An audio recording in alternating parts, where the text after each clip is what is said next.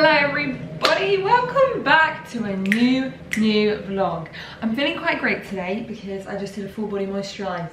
And you know when you do a full body moisturise, you just feel like, I'm so ready for anything. Because I, I mean, I don't know if anyone else doesn't, but I don't do a full body moisturise every day. No. Heck, you're lucky if you get it once a week. Um, but I feel soft and supple and I'm ready to conquer anything. Now I keep trying to vlog, but then I end up just vlogging like little bits in a day. So I'm going to insert those now. Hi, got double whammy on. Do you actually want to see what it is? Yeah, cool, I it. Okay.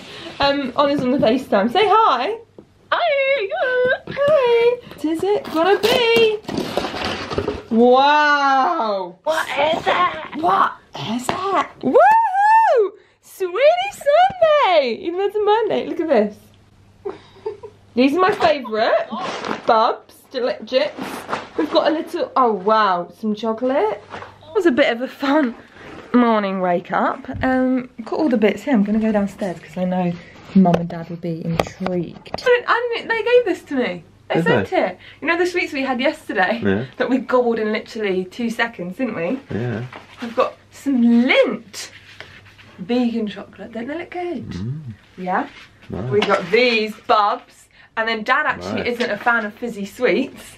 No. So you got the Right. non-fizzy ones. I prefer fizzy ones, but these bubs are so. No, I like fizzy, don't like sour. Oh, so with yesterday's good for you. They were right, yeah. But I mean, you, you don't have to worry now. No. That's for the love of my life, me. What this is my favourite one. This white does it say on chocolate biscuit one. What's on the card? That's lovely. Isn't it nice? What have we got in here? What do you reckon? Fizzy. No bonbons. Dad's favourite. Marshmallows. Vegan marshmallow. I think you really liked these last time, if I remember Lovely. correctly. Chloe loves the vegan marshmallow. Biscoff um, dip thing. Really fun. And you know what? Last time, Mum and Dad, Torpedoes. no, you guys said this was some of the best you'd had. Is it fake? Yeah. Oh, wait, no, what is this? I haven't seen anything like it. What's that? Nugget It's- in it. Oh, coconut ice. I mean, it doesn't smell like coconut. Chocolates. Valentine's chocolates! nice. Vanilla, but hazelnut heart, chocolate nut. I'm not getting it from a boyfriend, so thank you, conscious candy company. What is this? Crunchy Shortbread rings. They look good. Wow. We love a shortbread moment. You specifically love a shortbread little moment. Yeah, I do. Yeah, loves these. Benny's. Oh no, they're dark chocolate shortbread, but they look like beanies, right? Yeah, you so much, Conscious Candy Company. It's so nice. Yeah. I don't know whether to do my walk in the morning or the afternoon. Um, I'm tempted to go now because it looks so pretty outside, but the thing is I know I get slumped in the afternoon and I want to go out, so I'm like, hmm, gotta pick and choose wisely, great to see. Also, I just can't face wearing real clothes at the moment. Well, I know they are real clothes, but I just genuinely haven't been out of tracksuit bottoms in a long time. I can't even remember what trousers feel like. So it's parcel day here for Grace. Look at this wonderful necklace from this gorge girl called Isabella. Um, she's called, her company is called Pongo England. Um, and she, I think she hand makes everything. Um, and I, I am absolutely obsessed with this pearl like coloured one, aren't they a slice of me? Um, and she is, she's a first year medical student and 10% of Pongo's profits go to charity. And this month they're getting really close to £100. So go and check them out on Instagram. Honestly, love them. And what a, what a woman. She also sent me this little bracelet with a little smiley happy face on. Look how cute that is. And these earrings. Um, and these are two separate necklaces. So thank you so much, Isabella. I'm absolutely obsessed. Uh, I feel like really, I feel so like blessed. I don't deserve this. This is very kind of all the companies. I'm now into this chore, which is actually one of my favourite jobs, chores. Not my favourite, like I wouldn't voluntarily do it. Well, I am voluntarily doing it. But I mean, when you've got emptying the bins, worst job. That's the worst job you could have on the scale of house chores. Then you've got like putting out washing, depends on my vibe really and depends what the washing is then you've got like mopping sweeping i think emptying the dishwasher is the, the best one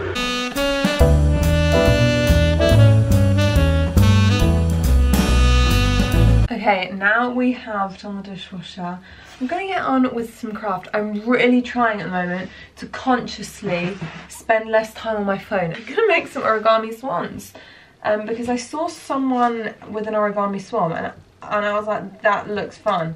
And I feel like I wanna do something that I've never done before. So I've never made, oh, sorry, a paper crane, not a swan. I might make, I might get into origami. Thing is, I had a stack of like origami paper and I don't know where it's gone. So I'm just gonna have to use normal paper. Um, so let's try and make a paper crane. I love crafting activities if you haven't already realised. I literally could do crafts until they come out of my ears. Come on! Did you know, with this little bit of paper, when I was in Breakfast Club, um, I used to make frogs out of these. So I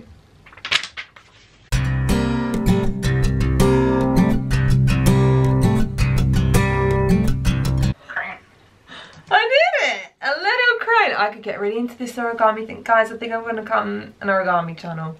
So here we have my paper crane. That was fun. What should I make now? Let's make a hopping frog. Okay, I've just made um, a jumping frog with a little scrap. This actually took a bit of time to get the hang of, but look. I used to make these all of the time, literally. In my bedroom, I just like bang out little jumping frogs. Woo! Yeah, buddy. How's your lockdown going? I'm just trying to make this dragon and it's really hard. Taking myself on a little snowy walk around the block. I don't think I have time today to do a big fat one. So just getting out and seeing the fresh air and hearing all the snow, which is still here. Can you hear the crunching? Look, it is still very snowy. And I genuinely feel so much better. I really wasn't going to come out today because I really didn't think that I would have the time to, but I feel so much better for getting out and getting fresh air. And it's cold, so I feel like rejuvenated, you know? I love it. I'm home from my walk. I think I'm gonna watch some TV. Do you know what? During lockdown 3.0, really gotten into the telly and rom-coms. Can't stop watching a rom-com, me. Um, please let me know your rom-com recommendations down below. I feel like with a rom-com, there has to be the com. If, you wanna know my sort of faves, Notting Hill. That's like my absolute, I love it. I could watch it anytime, any place. I'd be happy watching Notting Hill. Kind of has Friends vibes, you know, how I could watch that anytime, any place. Um, so yeah, please let me know. You're on come but I'm gonna go and watch some telly, I think. So I hope you enjoyed that little montage of kind of vlog sections. I'm really sorry, I don't know why, I just keep going to vlog, but then literally every day is the same. Um, and I know lots of other YouTubers are probably feeling the same, and not people who are YouTubers. Like every day is literally wake up, drink, pairs up, drink. No, joking. But it's very much like you wake up, you have brekkie, you do a bit of work, I probably bake something, and then you go to bed. Obviously, and everything in between. I feel like it's not that exciting and they're just kind of like me just baking basically all the time. But I'm here, I'm ready to party with the best of them. And today's venture, I'm actually gonna bake, something, surprise, surprise. Um, so I feel like you'll wanna see that because it's something that I've not baked before. It is of course from the icon that is Jane's Patisserie because her recipes are just genuinely I've never used a Jane's Patisserie recipe and it's flopped so um I'm going to use one of her recipes basically I said I think already that I've sent my family and a few friends I said please can you pick a recipe for me to make to kind of spice up a bit so they have sent me recipes that they want me to bake for them because I don't want to bake something and they don't like it. Do you know what I mean? Whereas they pick the recipes, if they don't like it, that's their fault. So we're going to be making a red velvet brownie cheesecake, cheesecake brownie. Um, I've never made anything like this before and I even bought the proper red food colouring and I bought the proper I think it's a nine inch pan. I've never had a nine inch pan before. So I'm so excited to make it. Um, I'm really thirsty this morning, so I'm gonna grab myself uh, some water. Um, and I don't think there's much to update you on, but I'll keep you posted. I am about to make this red velvet brownie. Oh, I need to grease the pan. I hate greasing, I always forget. This is my new pan, which is my new best friend. Nine inches, and it is a really nice pan. Um, because to be honest, I'm always making Jane's patisserie recipes, but I don't never have the right size pan. So I was like, might as well treat myself. It was eight pounds, um, and it is really nice quality to be fair. It's got got a lifetime guarantee, maybe 10 year guarantee, something like that. Um, so we've got our butter and sugar in there. It's very interesting because it doesn't have any raising agent at all. I thought it might have some like baking powder or something, but no. So fingers crossed this turns out. New cocoa powder as well, BRB. And also when I was using, when I was trying to get the red food colouring. Oops, my bad. But it's okay, because I'm only human for just one day. There's a weird song, and I can't remember the song, that they played on my year six when we went to France in year six. You know, like PGL. Was it PGL? I think it was PGL.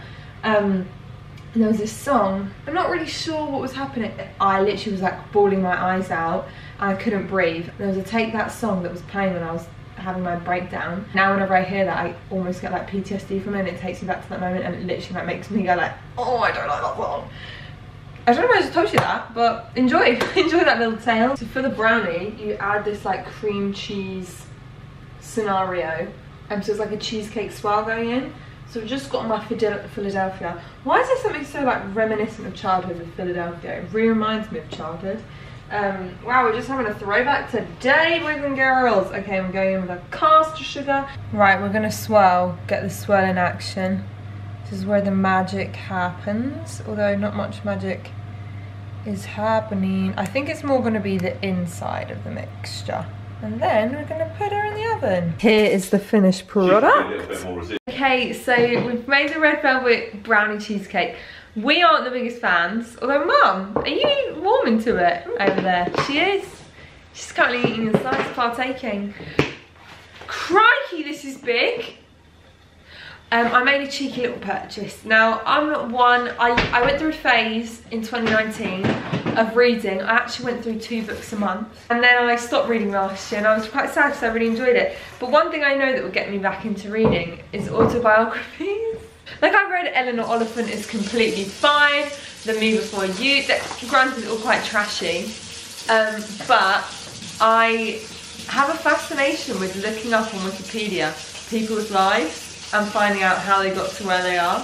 Um, so, try and guess who the celebrity is. A Kardashian. Oh no, I wouldn't do that. A chef. Nope. A cook. A model. Anton Anton Tech. You know you. Once upon a time. Stephen Mulhern. I don't think he's got one mum. I'll tell you who you would like. Oh, interesting. It's like a conversation. That's not what I thought. Grace, you would probably like to do Nigella's she got one? I knew you would like that. Look at my oh. little face. I think I would. Yeah, so hopefully this will get me back into reading. I'm really excited. Don't you think you have had to like done quite a lot in life to Mum, 30 years together on the telly. Groundbreaking duo. I think they're national treasures. Do you not think they're national treasures? Right, I you go in, you go to Tesco and you ask five people, they'll all know who they are. Does that make them a national treasure though? Just because you know who they are, does and that they've make them a added to this treasure? country. Think of it. You have definitely smiled because of these two men. Um, Yes, Possibly. yeah. does that make them a national treasure then? Yeah, bringing joy to people. So what makes a national treasure then? Anywho, I'm really excited and I'm about to go on a walk. And I'm about to go do some more work. I should do some. Peace out, pups. Peace out, pups. I'm actually really excited to read that. Hi, good morning. It is the next day right now. Um, can you focus, please? Um, and what I'm actually about to do, oh, last night, let me tell you, you know I'm on a rom-com hype at the moment. I literally watch a rom-com every night. I just can't stop. So any recommendations, please, would be appreciated. Thank you very much. Um, and I watched Sweet Home Alabama last night, um, which I have not seen before, so that was kind of fun. Um, and I don't know, I, it wouldn't be in my like list of top 10 rom-coms. It was in my mum's list of favourite rom-coms, which really, really just shocked me. I don't know if this sourdough is okay or not. I'm gonna go for it. Basically, I haven't actually made a sourdough in a few weeks, which is very unlike me. But I've, I just haven't, I just haven't been in, the mood to make a sourdough. I really don't know if this is okay or not. I'm gonna go for it and pray and hope for the best.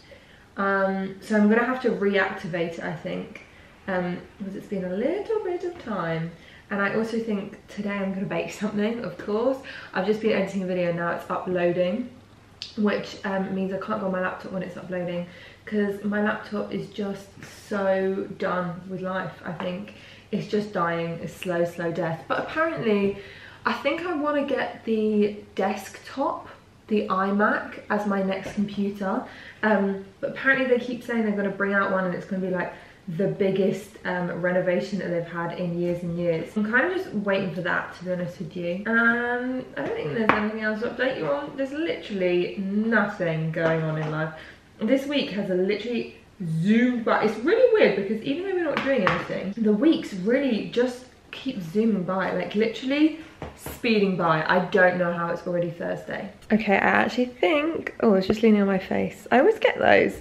Literally, I lean on my face for like a hot minute, just like literally two seconds, and I just get a red mark. Anyway, I'm gonna make these olive breadsticks. I've actually divided the recipe by three because the normal recipe makes 36 and one cake needs one kg of flour. I feel like I don't need that many. Um, because to be honest, I just like the act of it. So I'm gonna divide it by three and we're gonna start off making these. Let's see how they turn. Basically baking is the only thing keeping me going. And my mum's like, you should bake some savory things because we don't need all the cake. So I've been trying to like half all the recipes that I make, which has been working a lot better actually. Um, so I'm gonna make these. I'm excited. I've never made breadsticks before, I don't think. Okay, my camera is charging, so you're gonna be on the phone. Um, but we're just preheating the oven now and the dough looks pretty fab to be honest with you It looks lovely um, and I didn't actually even have enough olives I only had half the amount of olives but I sliced mine because he says to keep them in half but um, we didn't do that oh I just need to check if there's there's always oven trays in the oven oh no not today it was one of my biggest pet peeves um, so we need to line two baking trays which we have handily here. I'm so excited for these. I feel like they're going to be actually quite good, hopefully anyway. To be honest, I think that's going to be the end of the vlog because genuinely all I do is bake, go on a walk and watch rom-coms. That's literally the vibe at the moment. Um, so let me know if there's any kind of extra, sorry my hair's wet, extra grack vlog things if you want me to do them. But tried that needle punching by the way over there, but I just can't get the hang of it. So if you need a punch, tell me any tips and tricks please and thank you. Love you all loads, goodbye.